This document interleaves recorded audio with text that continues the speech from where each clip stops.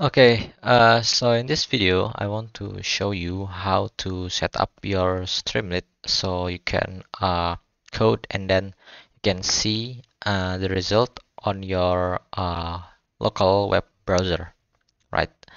Okay, so the first thing, uh, you can open up your Visual Studio Code and then you navigate to File. You need to choose your folder. The easiest way is actually using File and then Open Folder for example, I want to use this folder, setup Streamlit, as uh, my folder that we are going to use. Okay, so select folder. And then you want to open up your terminal in Visual Studio Code. So click terminal and new terminal.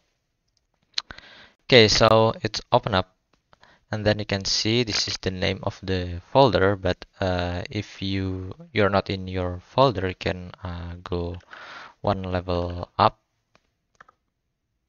and then you can also list the files. Okay it, it lists the files. For uh, in this case uh, it lists the folders.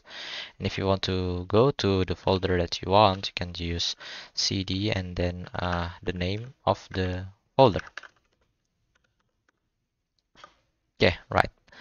Okay so uh, the first thing that we want to do is that we want to install uh, virtual environment, right? Using uh, pipenv. Why do we need a virtual environment? Because it helps us keep the dependencies, right? Uh, for example, that you have a different kind version of uh, a library, right? Okay, uh, for such project. Okay, so that first thing you need to you, to do is that you type pip install and then pip env and yeah I already uh, installed pipenv so already installed. And then uh, the next thing you want to do is that um, you want to install Python. Now if you have more than one version of Python you can uh, list them by using py for Python and then uh, strip 0 or minus 0 and then it will list all the Python uh, versions. For example, I have this 3.10 and 3.9. So if I want to use uh, Python 3.10 for my virtual environment, I can type like pip n and then strip strip Python space and then 3.10 right enter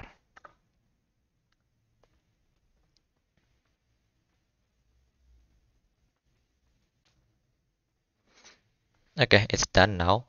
And the next thing you want to do is that you want to uh, install the library okay? So how to do that is that you type pipenv and then install and then you type the uh, names of the library that you want to install. For example if you want to install uh,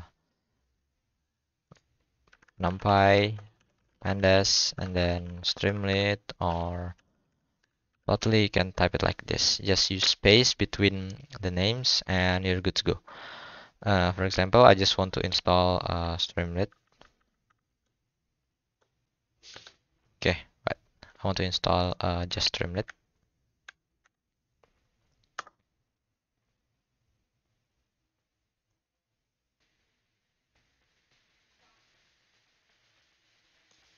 Okay, it's done now.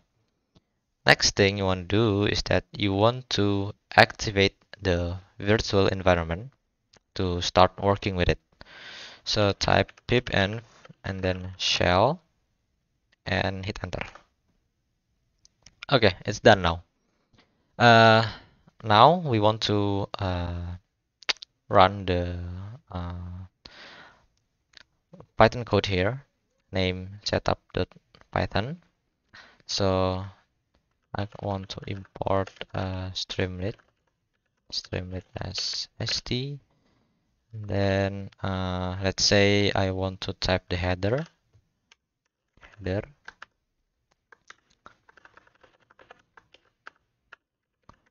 Okay right. So the next thing you want to do is that you type uh, Streamlit and then run and then the name of the files that you want to uh, run in your local browser. So in this case the name of my file is setup.python